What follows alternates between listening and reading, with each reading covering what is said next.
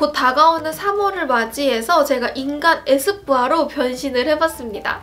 에스쁘아 하면 딱 떠오르는 게 상큼, 과즙, 색조, 베이스가 생각이 나잖아요. 그래서 곧 3월에 출시가 될 따끈따끈한 신상의 파우더 쿠션을 같이 리뷰하고 소개해보면서 오늘 인간 에스쁘아로 메이크업도 해봤는데요. 그러면 지금부터 저랑 같이 영상 보러 갈까요? 시작합니다. 에스쁘아 Pure Radiance Glow Riser입니다. 수분을 채워주는 에센스인데 안에 알갱이가 오돌도돌하게 들어가 있어요. 피부 위에서 문질문질 해주면 이 알갱이가 터지면서 피부에 수분도 공급해주고 더 촉촉하게 피부를 만들어줘요. 건성이나 속 건조가 심한 분들한테 추천을 하고요. 요 며칠 엄청 추웠잖아요. 이렇게 코랑 턱에 요즘 각질이 많이 올라오더라고요. 오늘은 이거 Glow Riser로 마무리해줄게요. 기초 끝! 오늘은 기존의 에스쁘아 쿠션이랑 같이 비교를 해보면서 커버력, 밀착력, 그리고 가장 중요한 묻어남, 뽀송함까지 같이 체크를 해보려고 해요. 그럼 지금부터 따끈따끈 한 신상 쿠션 소개를 해보도록 할게요. 에스쁘아 Pro Tailor Be Powder Cushion입니다. 화이트 패키지에 rose gold로 에스쁘아라고 들어가 있는데요. 패키지도 너무 고급스럽고 딱 소장하고 싶은 쿠션이에요. 저 케이스 보고 오! 뭐야 너무 이쁘잖아? 이런 생각을 했었거든요. 바닐라, 아이보리, petal, 베이지로 핑크 베이스, 옐로우 베이스, neutral 톤까지 맞춤형으로 사용을 할 수 있다는 게 장점인데요. 이번 영상에서는 에스쁘아의 Pro Tailor Powder Cushion과 함께 기존의 Pro Tailor Be Silk Cushion이랑 같이 비교를 해보려고 해요. 짜자잔! 여러분! 에스쁘아의 Pro Tailor Be Silk Cushion 엄청 유명하고 안 써본 사람이 없을 정도로 에스쁘아 코덕이라면 한 번쯤은 써봤을 쿠션이잖아요. 얇고 쫀쫀하고 매끈한 텍스처로 수분감이 부족하거나 유분감이 많이 올라오시는 분들 그래서 수부지 피부 타입한테 인기가 정말 정말 많았는데요. 이번에 신상으로 나온 쿠션은 이거 Be Powder Cushion이잖아요. 이름부터가 Be Powder Cushion이에요. 딱 느낌이 떠오르지 않나요? 뭔가 뽀송뽀송 구름이 생각나는 그런 이름이잖아요. 기존 Be Silk Cushion보다 파우더 쿠션이 더 얇으면서도 내 피부처럼 느껴지고 뽀송뽀송하게 구름처럼 올라가는 느낌이었어요. 자연스럽게 tone up되는 점도 마음에 들었고 기존 쿠션이랑 비교했을 때 커버력은 그대로 유지가 되지만 얘가 훨씬 더 얇고 밀착력이 높았는데요. 기존 Pro Tailor Be Silk Cushion은 하루 종일 매끈하게 느껴지는 실크 페이스 쿠션으로 인기가 많았어요. 쫀득한 제형감이 느껴지면서 피부 위에 올렸을 때 커버력도 우수했고 피부가 쫀득하면서도 광채가 살짝 느껴지는 느낌이었는데요. 결점 없이 커버력을 높여주는 쿠션으로 인기가 많았는데 제가 두 가지 쿠션을 비교했을 때는 살짝 더 무게감이 느껴지는 쿠션이었어요. 이번에 새로 출시된 에스쁘아 Pro Tailor Be Powder Cushion은요. 뽀송 뽀얗게 피부를 자연스럽게 tone up시켜주는 쿠션이에요. powdery한 matte함에 파우더가 필요 없을 정도로 굉장히 뽀송하게 올라가는 게 장점이고요. 기존의 Be Silk Cushion은 발랐을 때 무게감이 느껴지지만 이번에 파우더 쿠션은 안 바른 듯하게 정말 뽀송하면서도 자연스럽게 내 피부 tone up을 시켜주는 쿠션이었어요. 구름처럼 가볍게 올라가는 쿠션에 묻어남이 없어서 powdery한 finish감에 가볍게 발리는 걸 좋아하시는 분들, blur 처리한 피부를 원하는 지성이나 수부지 분들에게 추천을 해요. 커버력은 Be Silk랑 비교했을 때 비슷한 느낌이었는데요. 마무리감이나 가벼움은 파우더 쿠션이 훨씬 더 높은 걸 느낄 수 있었어요. Be Silk 사용할 때만 해도 이거 너무 좋다, 이거 너무 추천해 하고 주변에 칭찬도 많이 하고 영업도 많이 했는데 이 파우더 쿠션이 발랐을 때 진짜 안 바른 줄 알았어요. 깜짝 놀랐어요. 양쪽 비교를 했을 때도 파우더 쿠션이 진짜 내 피부처럼 엄청 얇게 올라가죠. 지금 얇게 한 번 가볍게 묻혀서 피부에 톡톡톡 두드려주는데요. 지금 왼쪽 얼굴은 제가 커버를 살짝 했거든요.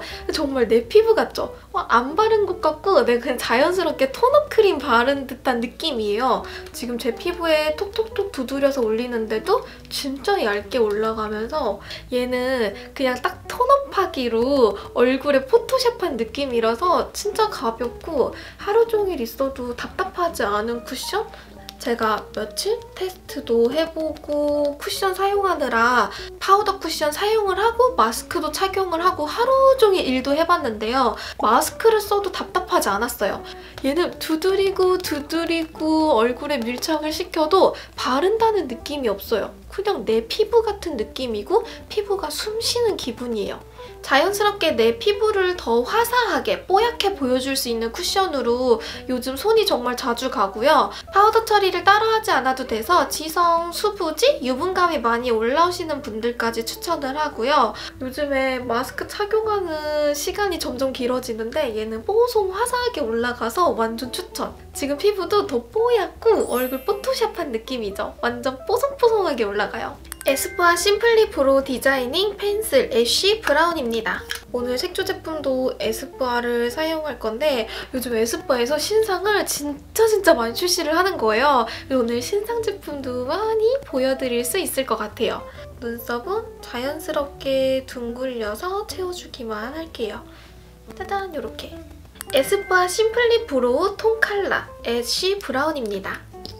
요즘에 eyebrow 할 때 eyebrow 마스카라 항상 다 쓰는 것 같아요. 예전에는 잘 안 썼는데 한번 하다 보니까 중독성이 있어서 끊을 수가 없는 거예요. 요즘에 에스쁘아 brow 마스카라도 쓰고 있는데 컬러 선택의 폭도 높고 얘가 하드한 타입이 아니거든요. 얘도 엄청 소프트하고 흐물흐물하게 얇게 발리는 제품이라서 초보자분들이 쓰기에 괜찮을 것 같아요. 메이크업은 짜자잔 에스쁘아 의 신상 섀도우 팔레트를 사용해줄게요. 이번 에스쁘아에서 출시된 이 팔레트가 하이틴 여주인공 느낌으로 팔레트를 출시했는데 이렇게 세로로 방향으로 사용을 하면 쉽게 쓸 수 있다고 해요. 우선 처음으로는 이거 puff crop top 사용해서 지금 이렇게 섀도우 올려줬어요. 베이스 색상처럼 사용을 해줄 거라서 섀도우로 넓게 펴 발라줄게요. 처음에 봤을 때는 너무 핑크 컬러라서 뭐야 너무 부어 보이거나 부담스럽지 않을까? 했는데 생각보다 발랐을 때 자연스럽게 올라가고 너무 동동 띄지 않는 컬러인 것 같아요. 채도가 조금 빠진 컬러라서 그런지 제 skin tone이랑도 잘 어울리고 오늘 뽀송한 파우더 쿠션이랑 잘 어울리는 느낌으로 메이크업 해줄게요. check pleats 색상을 사용해줄게요. 살짝은 펄이 들어가 있는 컬러고 얘는 피부톤이 밝으신 분들한테 잘 어울릴 것 같아요. 봄 warm tone부터 여름 cool tone까지 사용을 하기도 괜찮고 페일톤이나 라이트톤처럼 정말 맑은 personal color를 가지신 분들한테는 완전 찰떡 컬러. 쌍꺼풀 라인 경계선을 지나치면서 섀도우를 블렌딩 해주세요. 살짝 미세하게 펄이 들어가 있거든요. 그래서 eye 메이크업 할 때 포인트로 주기에도 괜찮을 것 같아요. 눈꼬리 삼각존부터 앞으로 knee-high socks 컬러를 사용해줄게요. 눈 끝쪽에만 섀도우를 살짝 살짝씩 영역을 터치해주세요. knee-high socks 컬러는 붉은기가 들어간 브라운 컬러인데요. 안에 화이트와 핑크에 반짝반짝한 잔펄들이 들어가 있어서 블렌딩용으로 사용하기에도 괜찮고 아이라인을 풀어주는 용으로 사용을 해도 괜찮을 것 같아요. 저는 knee-high socks 컬러를 포인트로 사용을 해서 눈 꼬리를 더 길게 빼주고 언더 삼각존도 눈 끝에서부터 앞쪽까지 영역을 풀어주는 느낌으로 사용을 했어요. 다음으로는 lace up walker 색상 사용해주세요.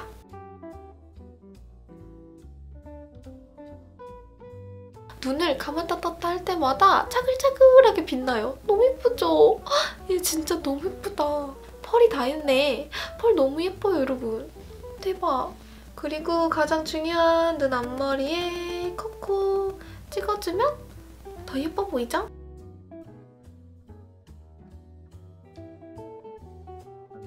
에스쁘아 bronze painting waterproof eye pencil stay dark입니다.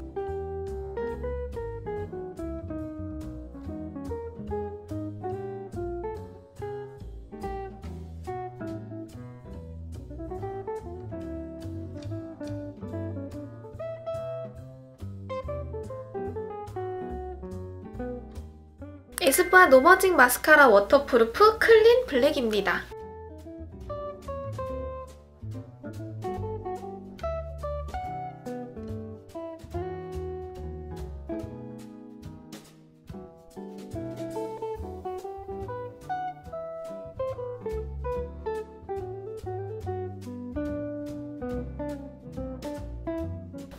언더도 마찬가지로 세로 방향으로 마스카라 내려주세요. 그다음에 shading은 이거 이글립스의 slim fit shading ginger slim fit입니다. 오늘 쿠션이 파우더 쿠션이라서 따로 파우더 처리 없이 바로 shading 해주고요. 윤곽만 살려주는 느낌으로 그냥 가볍게 지나가 줄게요.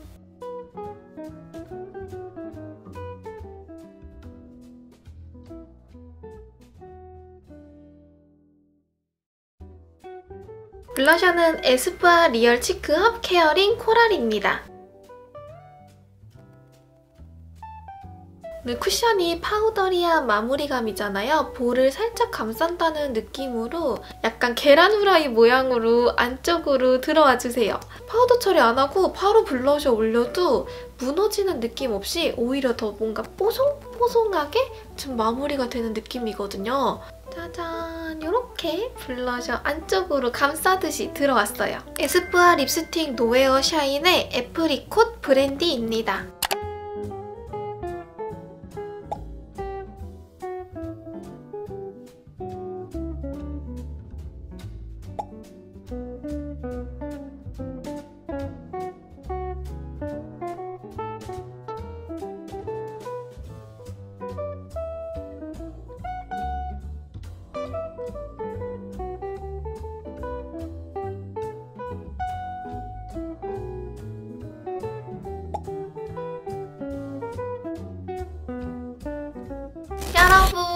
오늘 인간 에스쁘아로 변신을 해봤는데요. 헉, 어때요? 약간 에스쁘아 같나요? 짜자잔!